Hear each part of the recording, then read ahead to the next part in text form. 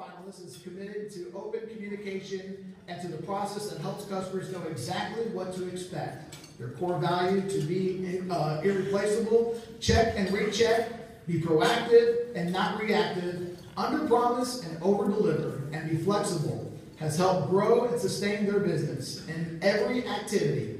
This company puts the satisfaction of its clients first. Please join me in congratulating our third finalist, Ridgeline Construction, Inc.